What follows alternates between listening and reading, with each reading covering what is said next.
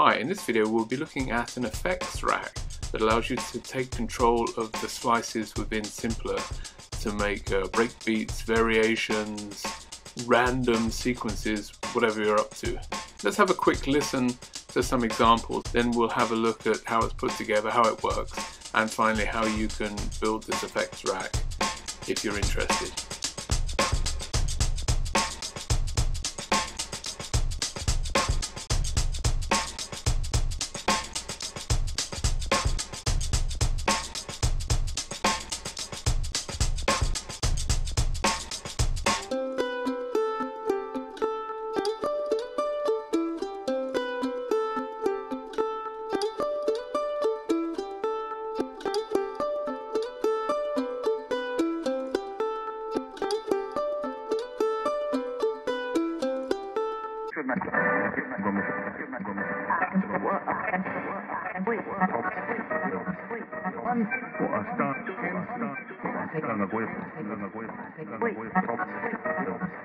Let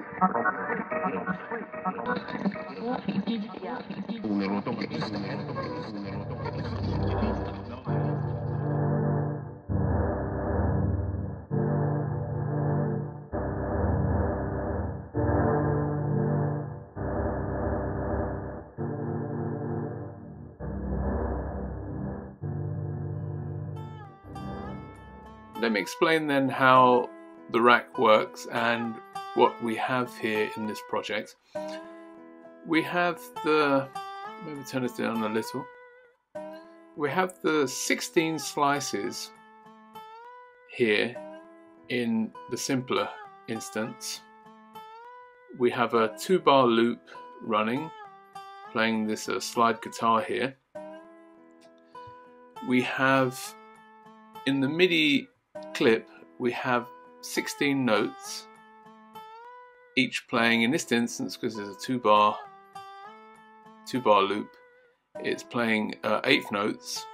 So we have from C1 all the way up to D sharp 2 here.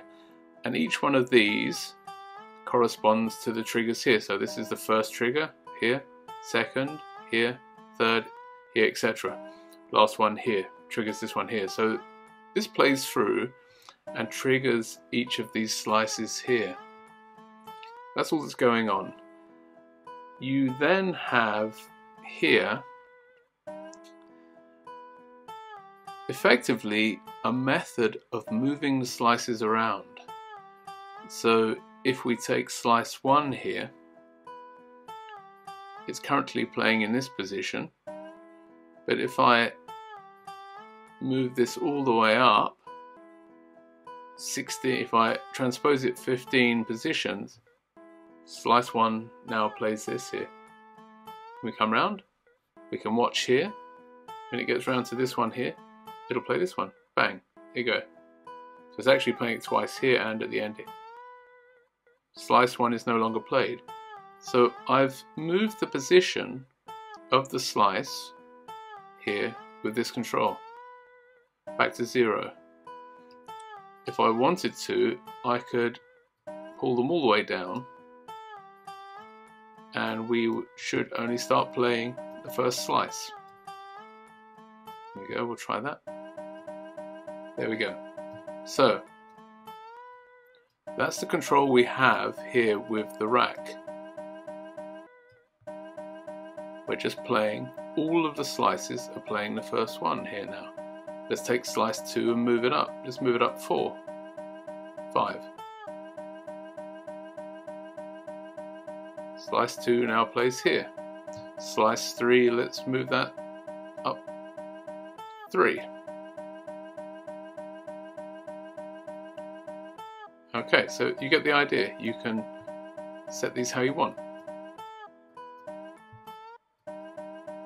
and we then begin to introduce new rhythms into the the sample that's been chopped here, sliced here. Now we also have another function, if I click here, all off, if we set all of the dials, all of the macros to the far right here, then we have a position in each of them which turns them off. So that way you can generate rhythms and beats as well and activate these two, but the rest are turned off. That's what's going on there. Um, on the side here, I have a series of um, snapshots which I've programmed. This one is just the base, so this just plays through as the, the sample should. Here I've got one four to the floor, maybe for drum beats. This will only play the 1, the 5, the 9, the 13. And then I have a series of, um, I say, different rhythms that I've programmed. This one does even odd, so the first time round it does even, then it plays odd. Odd even reverse. We can reverse the sample in playback. Okay, and there's a whole series of these that I've created hop about. Okay, so here you can save your um, your snapshots, maybe rhythms you've programmed in here.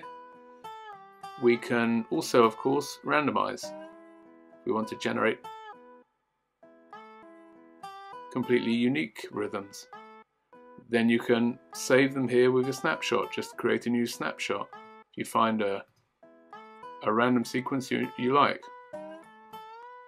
Now I'm using a slide guitar here, but as you saw in the intro, this works really well with drum beats as well. You can take a sliced up breakbeat and rearrange it however you want, randomize it. Perhaps we could try that. Let's move this out of the way for a second, we don't need that. Let's see if we could find a, a loop um, let's have a look at a, a, drum loop here, see if we can find a breakbeat. And I'll give you an example of how we set this up. Um,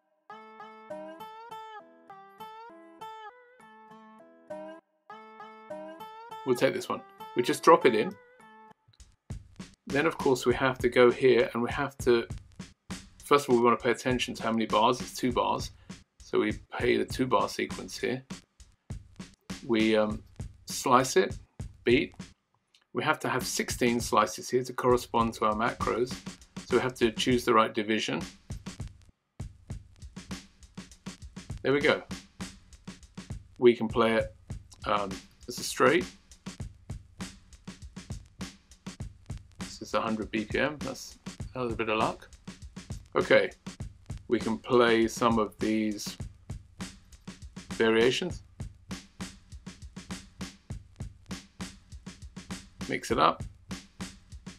We can randomize. Randomize again. As I say, click new if you find a rhythm you like. Record this. Um, you can reverse it.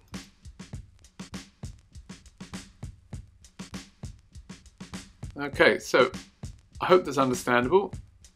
I think it's quite a nice rack. I'm quite happy with this one that I managed to get it to work. Took a little bit of thinking about. Um, these upper bars here, if we have longer samples, let's see if we have uh, maybe, I don't know, we've got something here. Maybe perhaps in the ambience, we might find something that's Let's take this one, let's drop this one in. This is 8 bars now. If I change this to beats, and we want here probably, no, that's going to be a division one bar of, no, that'll be half, that's correct. One, two, one, two, three, four, five, yeah, that's correct. But we're playing here an 8 bar sample, but with a 2 bar MIDI loop. So this is speed if I play 4, and we slow it down. If I play it at the correct speed, 8,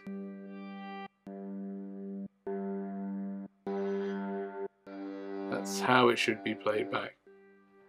Put it on base. Okay, so you can see here if I open this up, this up here, sorry, that, you can see here that I have half notes. This corresponds to the division here. If I go to something with 16 bars, this one here, you will see here that I'm using full bars, which would, if this was a 16 bar loop, this would correspond to the division because the division would be one bar. So that would, these here would then correspond to a, a 16 bar loop. So I hope that's understood. You need to have these set up um, to make this work. And so if we just look at this again, all it is is very simply a sequence of notes going up by one semitone from the low C1, which corresponds to this slice, up to D sharp 2, which corresponds to the final slice. So you just have to get the, um, the division correct for the loop you want to play. Okay, so I hope that's understood. It's, um, I say, very interesting rack. We'll have a look now at how it's put together, and if you're interested, you can build it yourself. If not, I, I have all of this. I'll, I'll upload this project to my Patreon, um, including these uh, MIDI MIDI settings here, these MIDI loops, and all of these um, snapshots that I've produced. They'll all be included as well. But anyway, let's get on to the build and have a look. Now the build's not difficult, it's just a little bit repetitive. We'll be using a, a MIDI effects rack, so what I'll do is I'll drop that in here on this MIDI channel. I'll show you the initial setup and then we'll switch back to the original and I'll show you some of the settings to speed things up. So you have your MIDI effects rack here. All you're going to need to do now is to open up the macros here, drop in here a pitch into the MIDI effects. Then we're going to go down here and click here for the chain. Let's just increase the macros. So you'll have something that looks like this. And we're going to rename this to slice 1. Then we are going to set the range here to 0 semitones and we are going to change this value to match C1.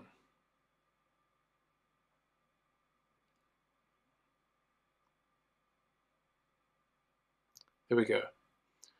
We would then duplicate this, right click, duplicate,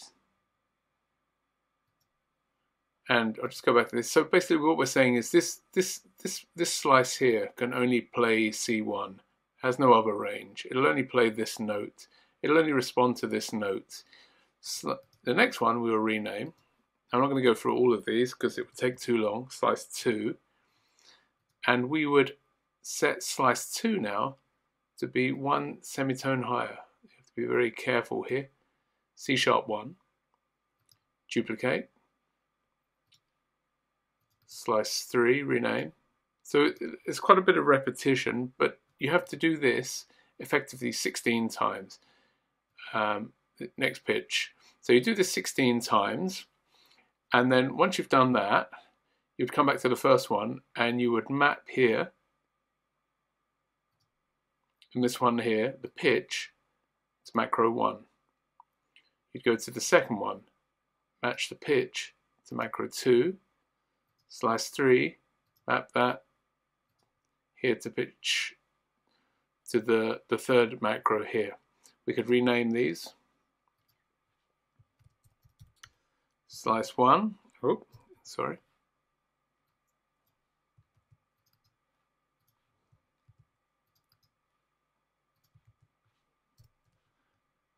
Okay, so you do that 16 times which then gives you 16 of these in the chain.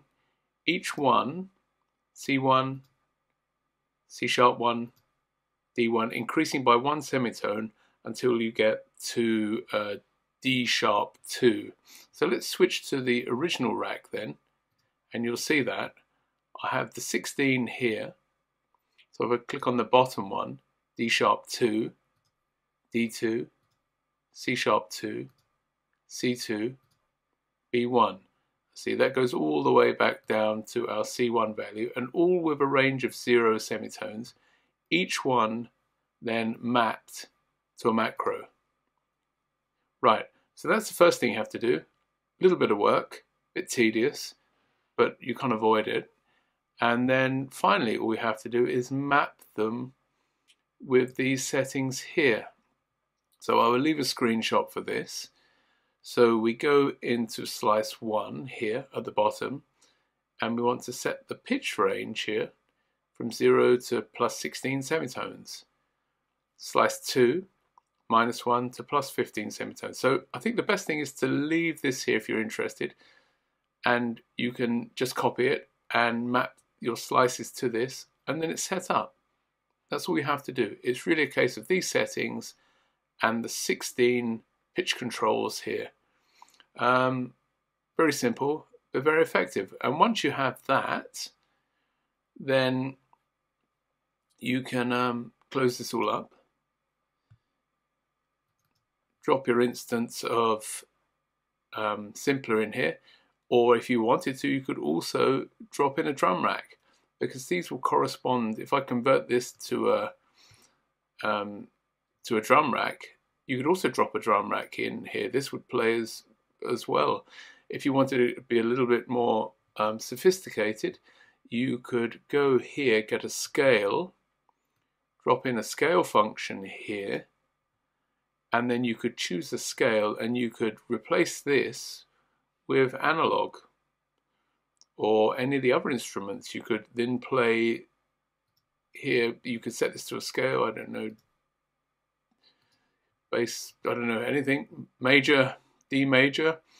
And this then, when you play the slices here, they would be locked into the scale, quantized to a scale. So if you had an instrument here like drift or analog afterwards, then you could use this to control the pitches as well and randomize pitches and get sequences. That's also a possibility with this rack.